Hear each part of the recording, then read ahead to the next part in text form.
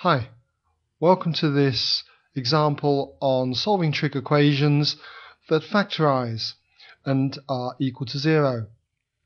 So here we've got an example where I've got sine x all multiplied by 1 minus 2 cos x equals 0 and we've got to solve it for x between 0 degrees and 360 degrees. Now when you have an equation that is factorized and equals 0, then we can say either one or more of the factors equals 0. So in this particular example, we can therefore say that either the sine x equals 0 or the other factor, 1 minus 2 cos x, equals 0. Now if we start with just sine x equals 0, let's just put that down here, when sine x equals 0, then to work out x, x would be the inverse sine of 0. Now, with a result like this, you should really know the answers actually. If you don't, then there's several ways. You can either use the quadrant method or just do it from the graph. If you're doing it from the graph, which I'm not that keen on, I must admit, but you know, if you had, say, y and x here, and you're looking at the graph of y equals sine x, then you should know that the graph looks something like this. It starts from 0, goes up to 1 at 90 degrees, down to 0 at 180 degrees, 270 it's minus 1, and back at 360 degrees it's 0. So you should be able to see then that at 0 180 and 360 degrees, you've got x to be 0. So this is a very easy one. x equals 0 degrees, 180 degrees, and 360 degrees. If you're doing the solution by the quadrant rule, you could do it something like this. You could draw your quadrants up, and this is the method I normally prefer. Put 0 degrees there.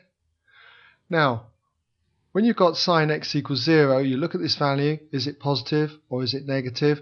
Well, to be honest, doesn't really matter. But let's imagine it's positive and we have no idea of what the result is. What I would do would be to draw one line in the quadrant where sine is positive, and they're all positive in here, and sine is positive in the second quadrant, so draw a line equally inclined to the horizontal line here. Mark in these two. And what I would need is to give this angle, this is a possible x. I'd also need to give this one round here, and that too would be a possible x. Now, when I inverse sine x on the calculator, you get 0 degrees. So that means that this red x here would have been 0. I'll just mark that in there, that that angle in there would have been 0 degrees.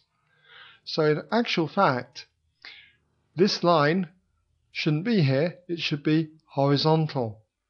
But what the heck, it doesn't matter, it doesn't alter the problem.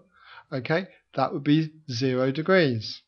And if that was 0 degrees, this angle in here would be 0 degrees, and that would make the green x here go all the way round down to here, which would be 180 degrees.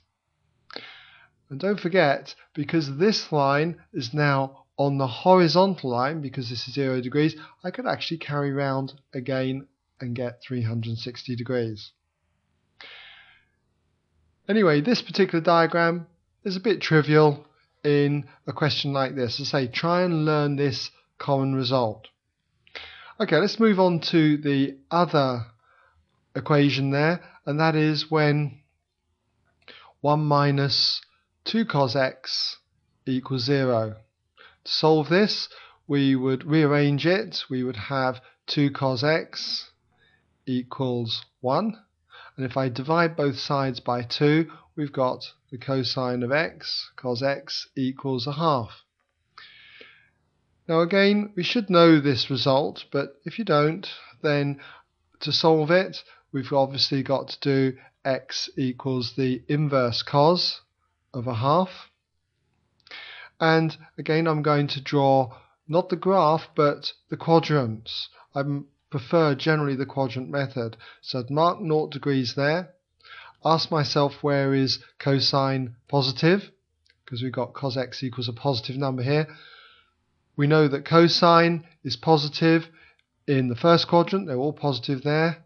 Sine is positive there, tan is positive there, and cosine is positive here. So that's in the first and fourth quadrant. So I draw a line equally inclined to the horizontal, marking those two as being the same.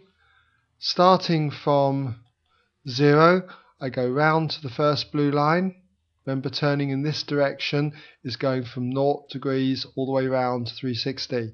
So this is a possible x. Start again from here, go all the way round to the next blue line, and this is another possible X. I Right, get on my calculator, work out what the inverse cos of a half is, and you should find that you get 60 degrees. So this angle in here, this blue angle, is 60 degrees. Mark that in there, and that corresponds to the red x. So that's telling me that x is equal to 60 degrees. That's the first one. And then if that's 60 degrees, then this one's 60 degrees. And that means this green one round here will be the full turn of 360 degrees minus 60 degrees. So in other words, 300 degrees. So we've got that one there, 300 degrees. So we need to just summarize, put all our solutions together, and so therefore we can say, let's just rule that off, we can squeeze it in here, and we can say that therefore x equals, and it's best to put them in order of magnitude. So we'll start with 0 degrees, then 60 degrees, 180 degrees, 300 degrees, and then finally 360 degrees.